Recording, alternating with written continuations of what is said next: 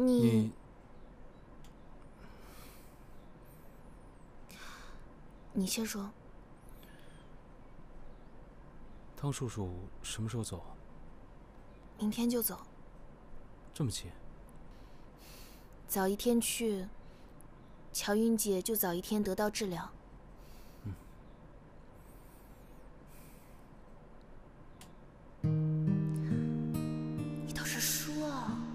说你考虑好了，说你喜欢我，快说啊！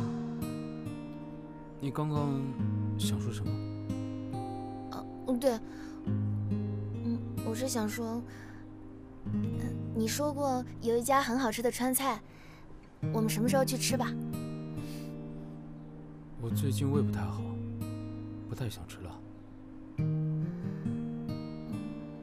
没关系，等你想吃的时候，我们再去吧。不用等我了，我把地址发给你，你跟冯静去吧。